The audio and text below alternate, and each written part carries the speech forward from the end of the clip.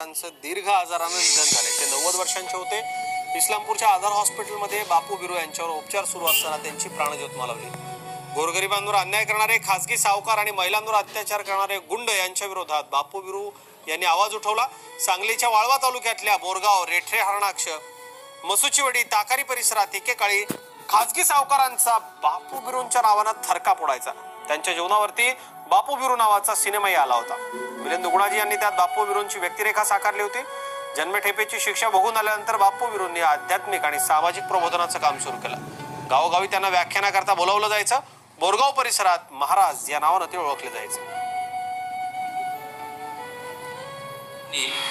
तब्बल चाळीस वर्षे वाळवा आणि बोरगाव परिसरातल्या गावगुंडांशी आणि खासगी सावकारांशी रक्तरंजित लढा दिला.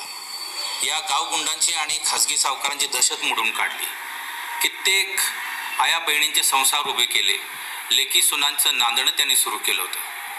त्यामुळंच स- संपूर्ण बोरगाव परिसरात वाळवा तालुक्यात रॉबिनहुड अशी त्यांची प्रतिमा तयार झाली होती.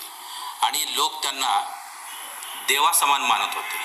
त्यामुळंच अखेरच्या क्षणीसुद्धा त्यांच्या जीवनावर बापू बिरू नावाचा चित्रपट निघाला.